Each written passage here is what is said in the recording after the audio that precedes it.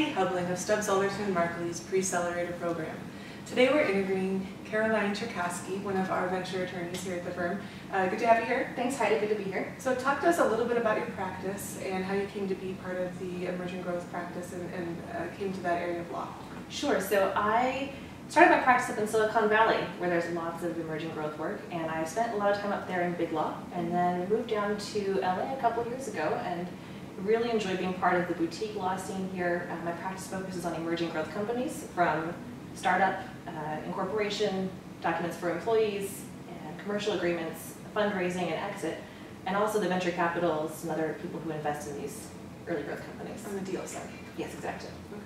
And uh, so let's talk a little bit about the fundraising process. One of the major lack of education for a lot of startups is the type of vehicle that they should use or mm -hmm. instrument that they should use uh, when going for funding. So there's the priced round, there's the convertible note, and there's the safe, yep. are the are the standard ones uh, for early stage companies. So talk a little bit about the differences and um, and how each is applied. Sure. So the priced round is really what most people think about probably when they think about a venture financing. Uh, the investors in the company agree on the price the investors write a check, the company gives them shares, they're now equity holders in the company, and they own a the investors own a certain percentage of the company's capitalization.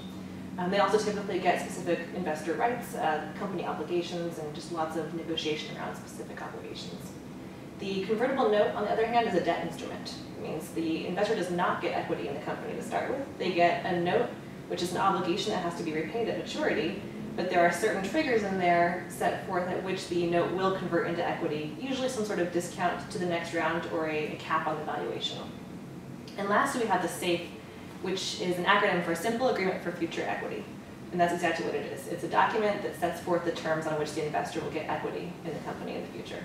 Um, it's very similar to a note in that it has uh, typically a discount to the next round or some sort of cap on the valuation at which the note, uh, the SAFE will convert but it's different from a note in that there is no maturity date. There's no debt obligation, there's no repayment, so there's a little more flexible in that regard.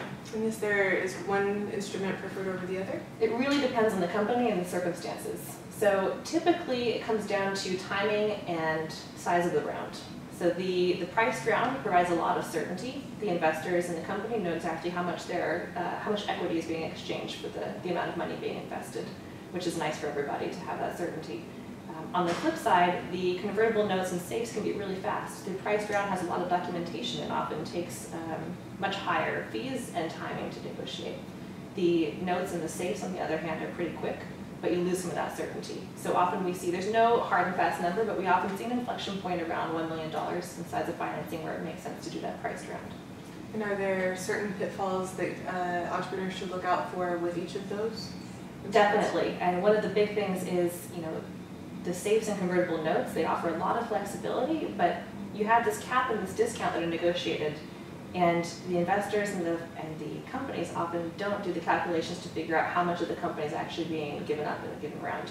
So especially if you do multiple safes or convertible notes in succession, by the time you get to that next priced round, you may not realize how much equity has been given up. And there are some founders, unfortunately, who, who realize too late there's been um, a lot more equity given up than they dilute themselves out. Exactly, lots of dilution. Um, and uh, so this is all important information for uh, startup companies as they get through their fundraising process. So we appreciate you being here. Thanks. And uh, we'll see you next time.